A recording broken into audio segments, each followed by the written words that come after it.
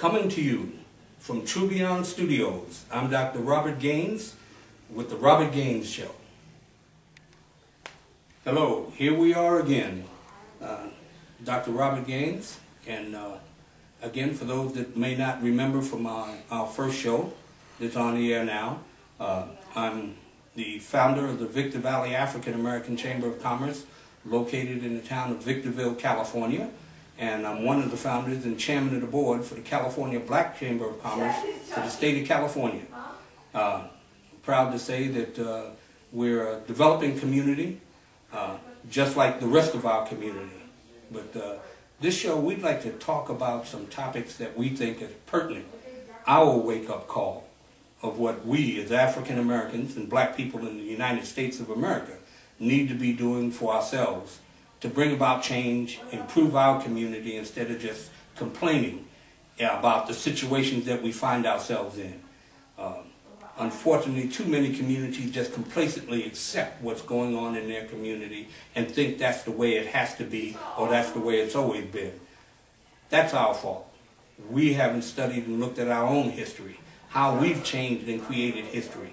Uh, people talk about the Greeks being the founder of science, but the Greeks were still living in caves and eating with their fingers when we had universities in Africa. They came in contact again with the people of, from the dark continent, and that's where they came across education and training. We opened their eyes, and uh, it's time for us to open ours. So today we're going to talk about uh, what we think is a very pertinent uh, topic of uh, what are we doing as a people for ourselves to bring about change, to improve our position in the economic community or environment in which we live. Because right now we're not participating, we're just being participated on.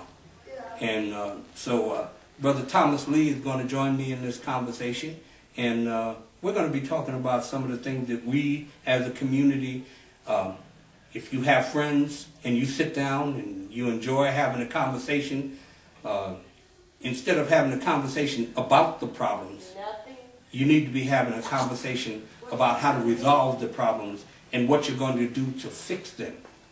We need to change what we do. And it's got to be about what we do, not what I do. Uh, everybody talks about we're looking for a new leader.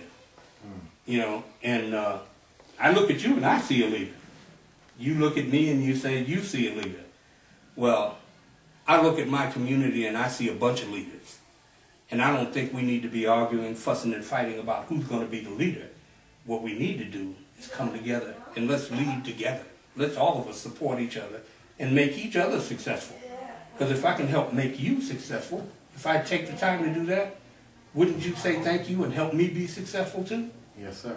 So, if that's something that we can just say between us two, how come we can't say it with you? We, the African American community, need to be concerned about us being successful. And now we need to start taking steps to make sure that happens.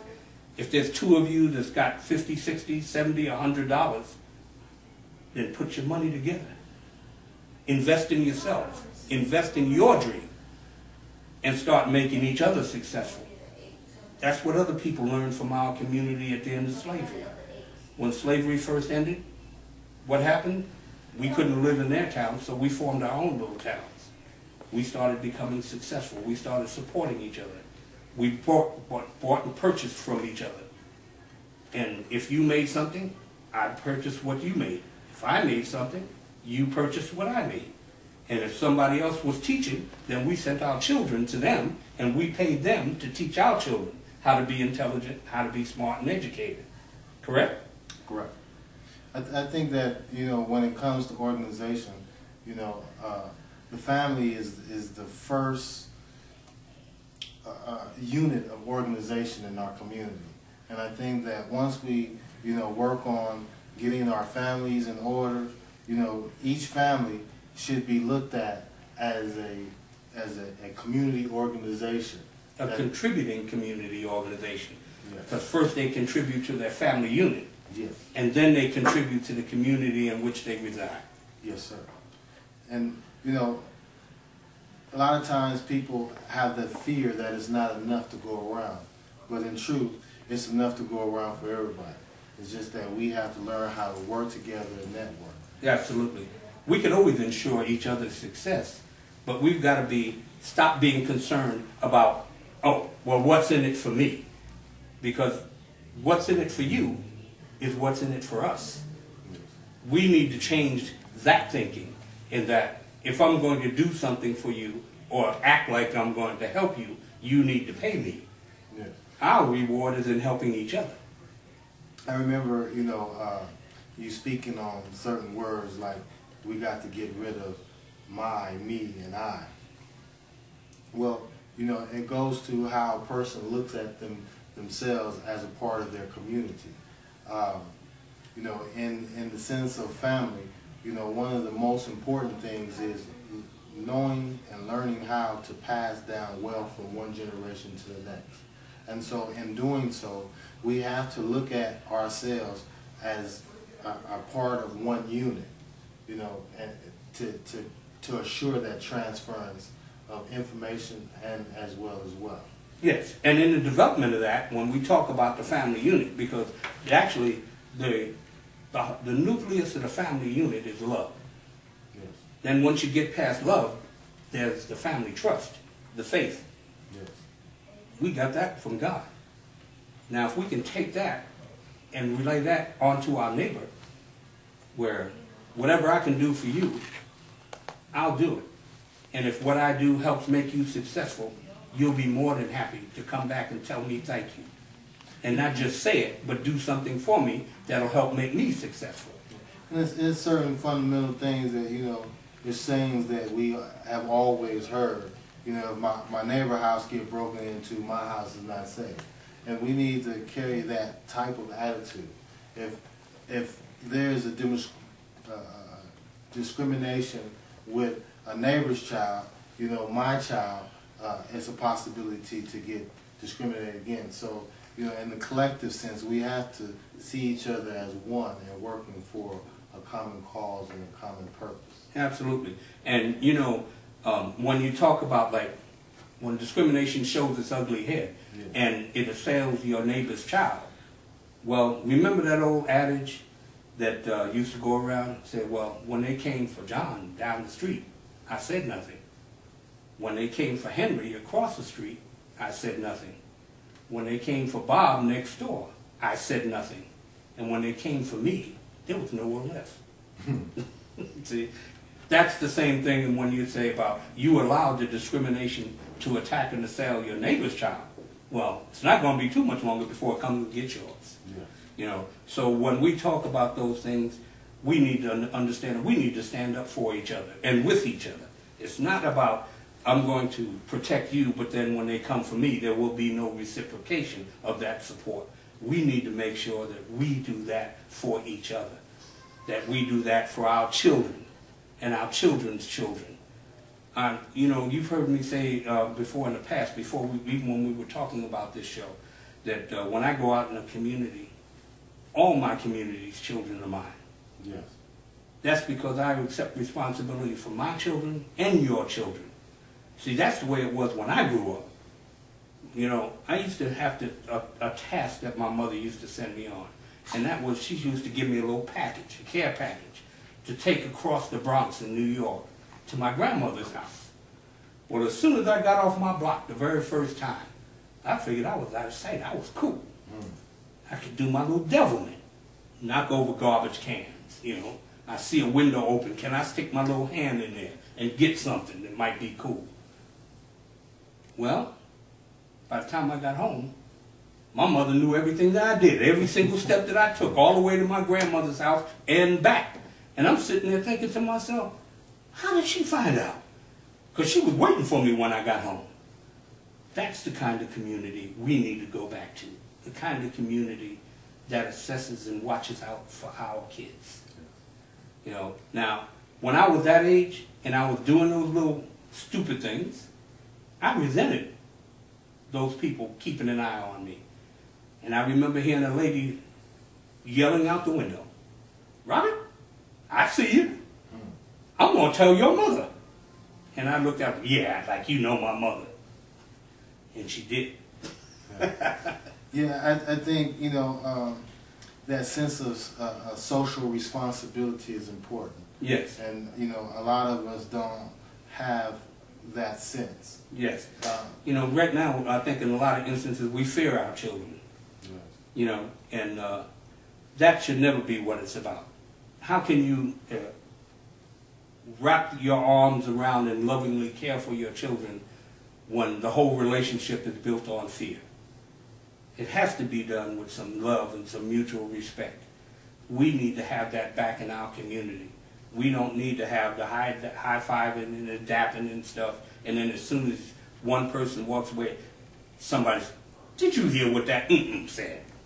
Well, you know, uh, you know, as as, as men and especially as black men, you know, we need to have a male fraternity Yes. in the sense of, you know, we have certain uh, standards, rules, you know that. And you know, we have one organization that, that's like that. That's a hundred black men. Now, that doesn't mean that there's only a hundred black men in the organization. Right. That's their title, is a hundred black men, and they're all over the country. You know, uh, we talk about bringing about change. If we could get organizations like the hundred black men, uh, like the Urban League, the NAACP, to work with our chambers of commerce, business people, okay, reinvent, reinsert entrepreneurship back into our community, which is the basis for ownership in this nation, okay, we wonder why we don't get respect. We don't get respect because we don't own anything. You know, uh, I was told by an economist, more than one, uh, that, you know, if you looked at the African American community and our spending dollar as a community, if that was looked at on a world global level, we would be considered the seventh largest financial nation in the world. The seventh largest. Now that's impressive. Yeah, you know, I, I tell people that a lot that when you're dealing with the, the black world or, you know, the black people that find themselves in various different parts of the world, if we if we learn to network with each other, we'll have a global network. And, you know, as global citizens, you know, in the time and age that we're in, we need to think global.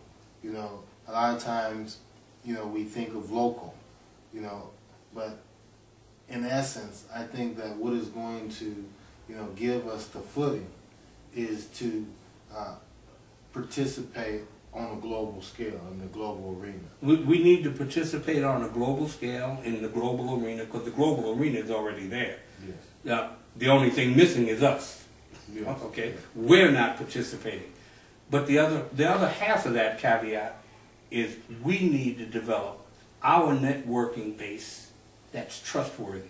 Someplace where we can go and get solid, concrete information and know that we're not dealing with some shyster.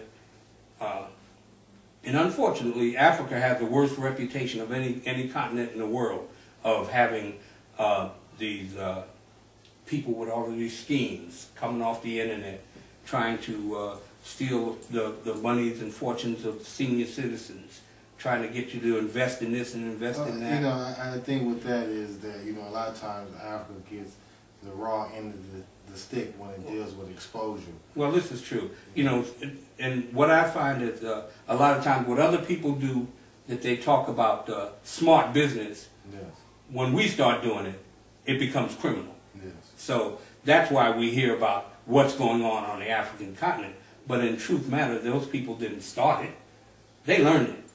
Yeah, I, I think one one of the things that is essential for us too is that when you talk about uh, economics, you know, and markets, we have to define our natural market. Our natural market is our culture as a people.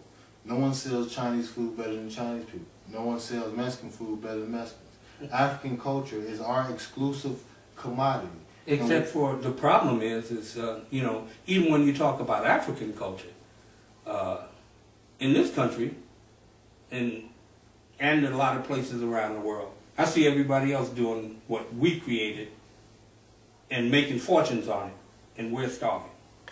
You know, I, think that's because a lot of us don't value, you know, uh, our, our, our history, our past, where we come Well, from. it's, it's not, well, see, in order to value something, you have to know it, yes. okay? And that's the crux of the matter, is we don't know our history, okay? And here on this continent, I'm talking about America.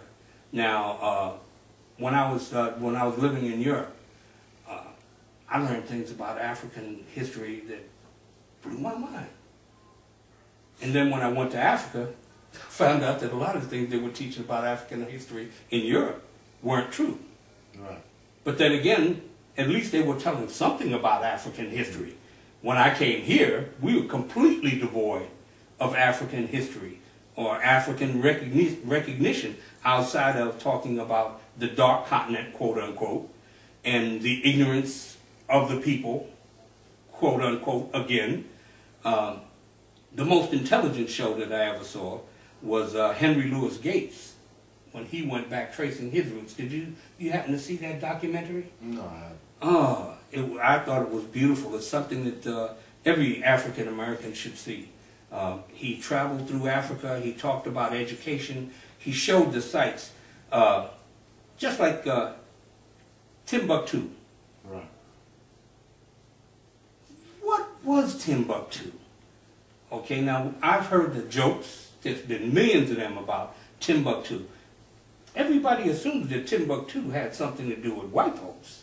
Yeah, well, you know, uh, y- you know, Timbuktu is is is is kind of ironic and, and, and a little amusing, you know, that that was an educational center in, in in the world, and people used to come from, you know, all around the world essentially to get certain knowledge and information. And so when they say, you know, Timbuktu, you know, that was a, a well recognized, you know. But uh, yeah, but it was more than just a, an education center. It was the financial hub of the world at one point. And anyone that thought about making money came to Timbuktu to find their fortune. Because that was the only place you were going to find it. There was no place else that was transacting businesses on a level even close to comparing to Timbuktu. So that meant people were coming to Africa, traveling across the deserts, just to get to Timbuktu so that they could find wealth and achieve a, a pinnacle type lifestyle. Yeah, you know, uh, it, in in reading about African history, it becomes, in a sense, liberating, because you know when you receive your American education of the uh, of the Negro, as they say, uh, you know, the, the origin starts with slavery, and no one wants to be a slave. But when you go back and you, uh, you know, you see that your ancestors made, you know, uh, monumental contributions to humanity, then it's something to look within yourself and be proud of. Hmm. But when you are told that, you know, your people have never made any contributions to humanity, you know, it, it makes you look at yourself like, you know, Well, you know, that's just like, that's why I say, you know, if we don't know our own history. yeah, and it's very Uh, important. you know, one, just to make a point, one of the seven wonders of the world that's recognized in this country, because there's magnificent edifices around this globe that people just cannot ignore. Now, we've allowed the American storytellers to mutilate history when we talk about the pyramids. The pyramids were designed, engineered, created, and built by black folks. Uh, Egyptians are not all white people. I don't know where that misnomer came from. As a matter of fact, the current day Egyptians, even the light skinned ones, are not white. okay? Even though they try to portray them as such. Uh, and, and the ancient pharaohs, most of them were black, or as they referred to in the day as Nubians. So just to, that, that's just to make a point that they recognize the edifice, but then they try to misconstrue the fact that we had anything to do with it by, by trying to imply that the people who created that environment and engineered and had the, the genius to be able to create and build those structures were all white people. Well, you know, um, when whenever a story is told, always the victors tell the story the way that they want to tell the story. Absolutely. And uh, you know, everything that you know, and brought and, and, and growing up, everything that is associated with Africa, uh, African uh, uh, traditions, you know, are considered negative. Um, and you know, it, it, it just goes to reminding me how much, you know, when Esau tried to steal his brother's birthright. and, you know, in the story of history that has been told, you know, Esau is trying to steal his brother's birthright. Right. Yeah. You know, so, um, you know, we have to know our own story and we have to, you know, maintain, you know, uh, our own image. When anybody tell our story, it should be us. When anybody record our story, it should be us. Well, it needs to be. We need to be involved of, with determining who we are Yes. instead of letting someone else articulate who we're supposed to be. And you know, this this whole thing is like, you know, I, I, I I strongly believe that you can be an, you can be pro black without being anti others. You know, um, Most assuredly. I, I, you know, that's what's wrong with our history in this country. We've lost sight of what our goals and objectives should be because we got encased in the hate syndrome. yes. We, we, we think we overcome our situation with the anger. But when I look around, all all the angry expression is locked up. It's incarcerated. So actually all we did was fall for the okie doke and we determined that this is the way we should express ourselves. But all that did was open the door so that they can continue to incarcerate us. Yes. What we need to do is say, okay, that didn't work. Time to move on to something new, a different strategy. And that strategy needs to encompass us taking responsibility for ourselves. Not myself, but ourselves. As a community and as a people, we need to get busy changing our community. And, and I think that, you know, it comes, you know, with the network. You know, uh, we need to, you know, network one, with one another, not only in the sense of uh, I'm an African American, but you have, you know, uh, Africans that were brought to the Caribbean in slavery. You have, you know, Africans that was brought to Central and South America in slavery. And essentially, we are one people. And so, to give us a, a greater footing, we need to be able to communicate with the various, you know, as they call the, the diaspora, Yeah. you know, the black diaspora. Yeah. Um, Well, I agree with you, but first we need to learn how to communicate here, you know, because we're not doing that. yeah, no doubt. I, I think that in, in the progress, and you know, you, you have to be in the, you have to be able to multitask. Oh you yeah. know, so you, you have to be able to do more than one thing at the same time. And, and not only that, we have to learn how to uh, uh, effectively plan for the future. You know, a lot of times we live in the here and now, and we don't think of, you know, 30, 40, 50, or 100 years from now. And I think that Well, we're not even thinking about tomorrow. yeah. You know, because we we we don't look at what is what I did today. What is going to be its impact on tomorrow? Are there any consequences that I'm going to have to suffer tomorrow for what I did today? yeah. You know, and we actually wind up waking up tomorrow, and when we hear that, it's the police. Yeah. Well, you know, I, I think that when anybody acts, you know, the idea of authority is uh, is in the back of the head, and we have to acknowledge that we have our own authority as human citizens of this world to be able to uh, determine our own future. You know, with, Absolutely. without having to ask someone, could we do it this way? Absolutely. You know, every people should be able to exert themselves in a way that will be beneficial to them, as long as it's not the, at the expense of other people. As long as, and as long as it's legally and morally acceptable, why can't you do it? You know, and our big problem in a lot of instances is we're, we're sitting back waiting for somebody to tell us it's okay for us to do that. And we don't need anybody's permission to do anything. Yeah, I mean, even you know, I know that a, a, a very touchy subject comes in when we're dealing with religion. Yes. You know, and how Oh, to sure. how to. Uh, I mean, it's just like uh, uh, polygamy, what they would call polygamy, Yeah. having more than one wife. Uh, you know, in my personal opinion, you know, I'm not in a polygamous situation, so you know.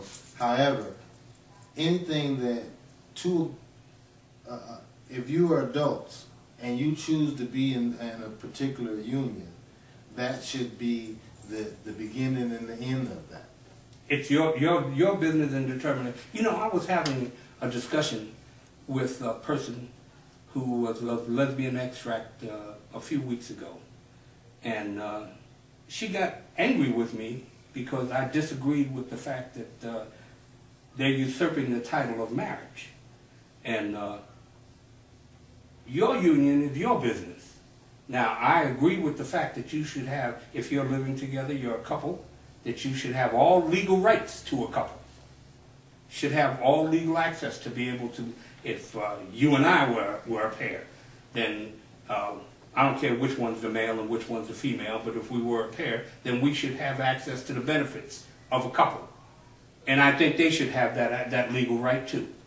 But they don't have the legal right to, to tear apart the structure that everybody else already has. You know, and, and I know I know that is very touchy touchy Yes. because when you talk about you know bloodline Yeah. and you talk about you know uh, uh, assuring a future footing for future generations, and you know when you're dealing with homosexuality, it goes to the core: is this a union for self or is it a union for community?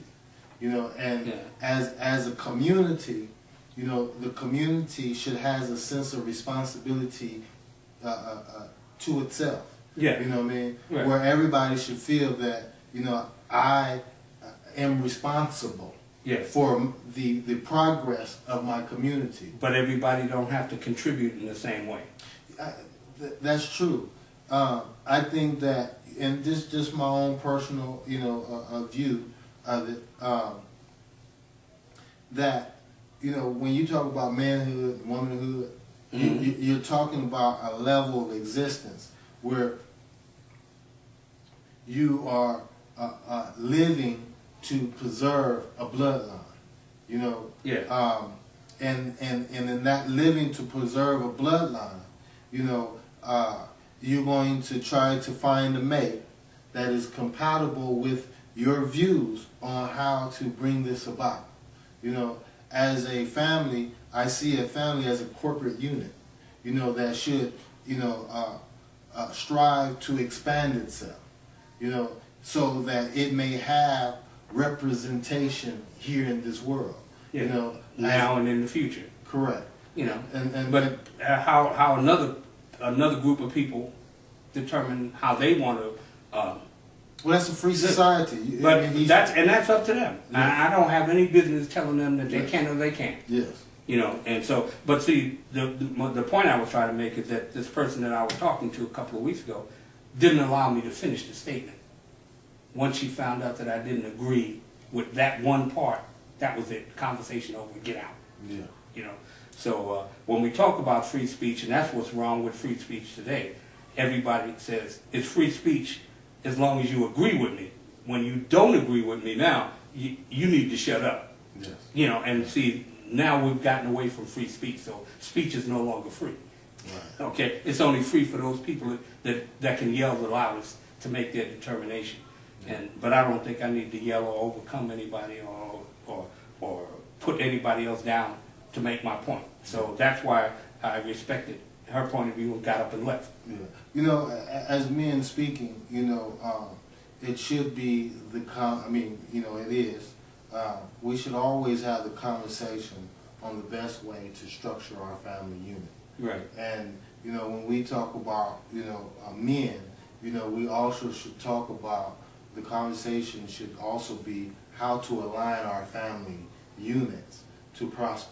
You know, when you talk about community, um, you have, you know, in, in the, in the history of man, man has, you know, had many, uh, uh, uh, civil laws, social arrangements. Always. And, and as a people, we need to discuss what social arrangements, uh, arrangements are best for us. Absolutely. You know, and, and looking at here and now, where we at, we need to, you know, make some drastic, you know, changes and decisions, you know, to to transform our situation from our current to a better. You know, and, and, and we can't just keep going on as Yeah. as as the status quo. The status quo is Yeah. definitely not going to make it. You know, we've been uh, we've been demonstrating, we've been jumping up and down, we've been screaming and hollering, and we've been busy pointing a finger, trying to blame somebody for the situation that we're in today. And uh, my statement is, we're in the situation we're in today because we're not doing what we need to do to get out of it. And, and, and as far as, uh, you know, relationships, you know, man and woman, you know, uh, the, the reason why, you know, back in the day, we had a more, uh, we were more unified because we looked at our individual selves a part of a greater whole.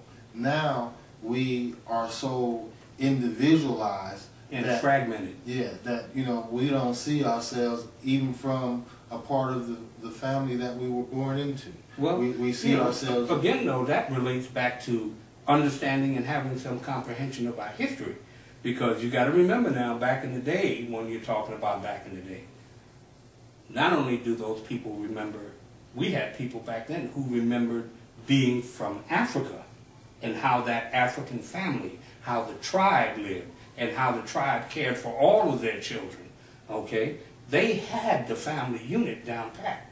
We've allowed this society to wipe that out for us. We haven't gone back and continued our story. We haven't told our children about our history. We've allowed this social environment that we're in to determine what our history or lack of. And that's what our problem is. Is that's why we can't find that uh, it- that consciousness of belonging. We we're kind of like in in a uh, like almost like a black hole in space, as far as our social environment, because we don't know our history. Yes. When we understand our history and start incorporating it in our relationships and how we relate to each other, then we can overcome our social problems. Yes. You know, and we need to bring those discussions back to the table. We need to have the discussion, anyone listening to this show should be willing to have the discussion with people in their community to enlighten themselves, to understand the powerful impact that our history had on our community and what it still should have on our community today, and how we should be coming together, exchanging our dollars amongst ourselves, spending with each other, and making sure that our community becomes successful just like everyone else's. Yes.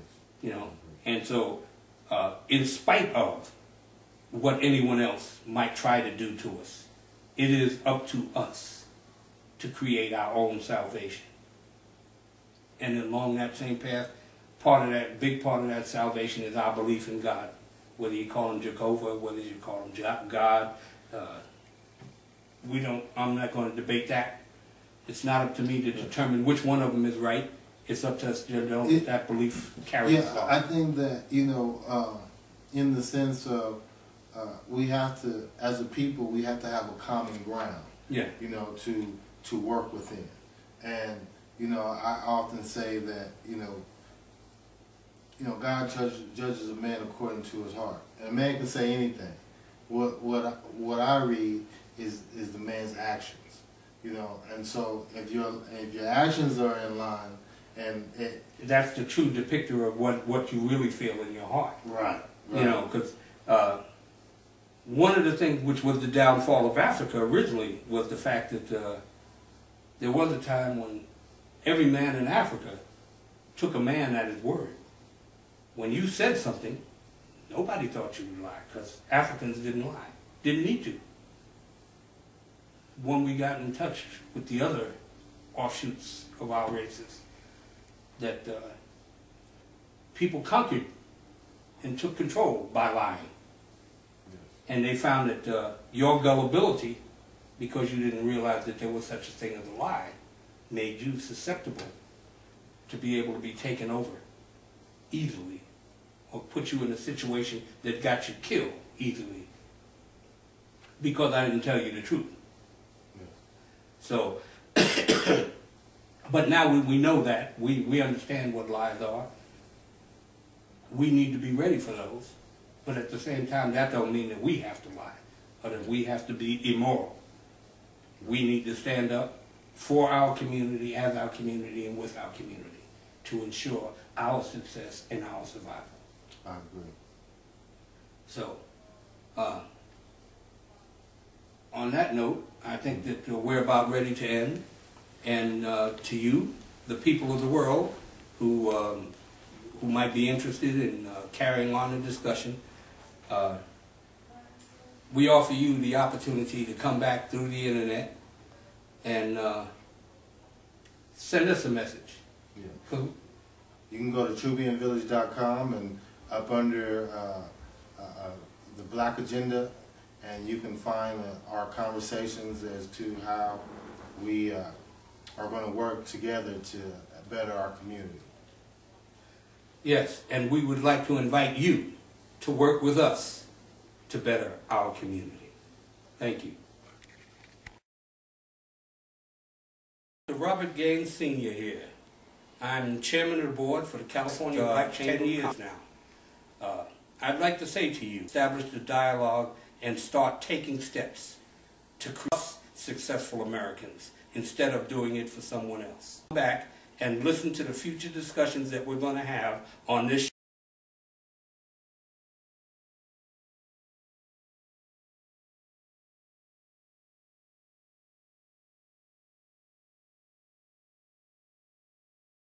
Robert Gaines Sr. here. I'm chairman of the board for the Cal uh, 10 years now. Uh, I'd like to say to you, establish the dialogue and start taking steps to cross successful Americans instead of doing it for someone else. Come back and listen to the future discussions that we're going to have on this